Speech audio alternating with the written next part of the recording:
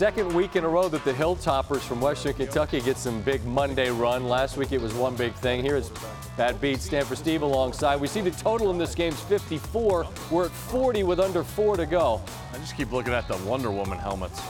Yeah, the uniforms are interesting. Um, we have the defensive back for FIU. You see he's celebrating and giving it a, a Mutombo finger wave.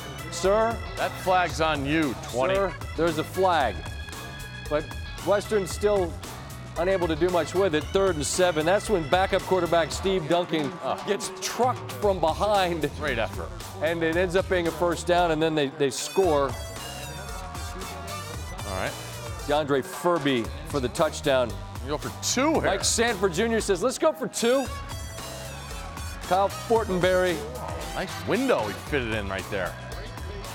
That's significant to many that were involved here because now, now a touchdown means that your under's no good.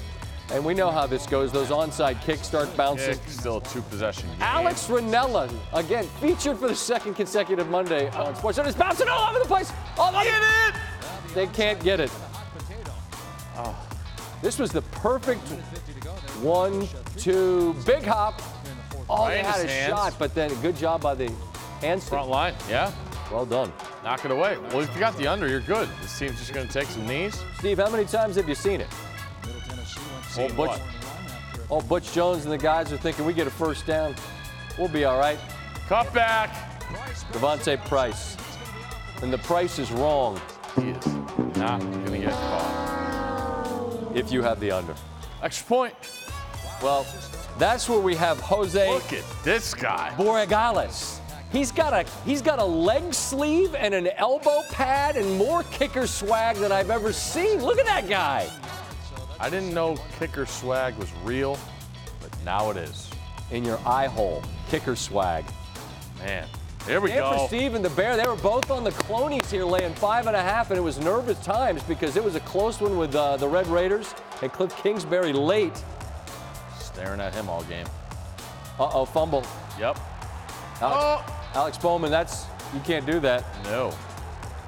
Let's take another look at this one. That's grounding in the end zone, Did not reach the line of scrimmage. and this is that official that tans nude, right? What? Watch. Remember he did the national championship game? Oh. Definitely has a beeper. Look at that guy.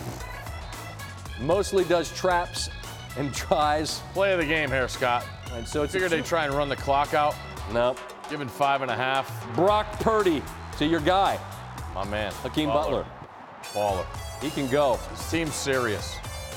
This Iowa State team is, uh, yeah, they can go. Tough And place you, to play. you had Texas Tech. That's Sorry about that. that's Stanford Steve. Three and one for the week. He's 32 and 11. That's correct. I went five and four. Nobody cares. All right, so we sorted out is that a bad beat or not. This right here, this is a bad beat. Buckle up. If you get part two during the football season of an NBA game, it's got to be bad. The total in this game is 231 and a half. We pick it up late at 227. We could have showed you the last two minutes where not a lot's going on, not a whole lot of scoring. But for reasons known only to Jared Dudley, he decides to foul Jrue Holiday. Duds, get at us. I don't know what that foul's about. I know you're watching. Jrue Holiday's look, by the way, at the moment is all world. Cobra Kai.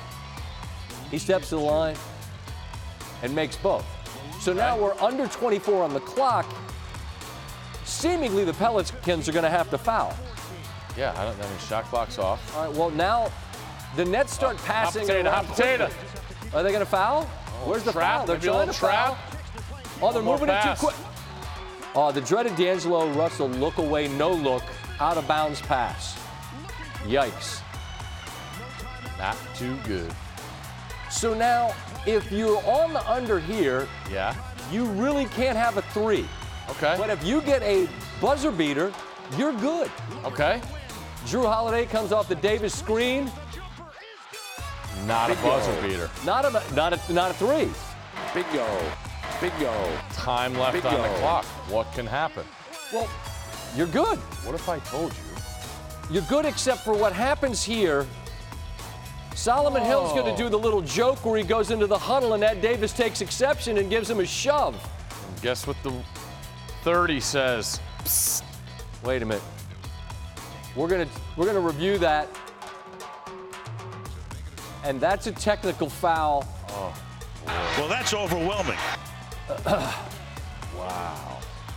So, so again, we had a technical foul with two seconds left on the old goof on the hey, I'm going to come in your huddle, and Ed Davis like, nah, Ed's not in the game. All right, technical free throw.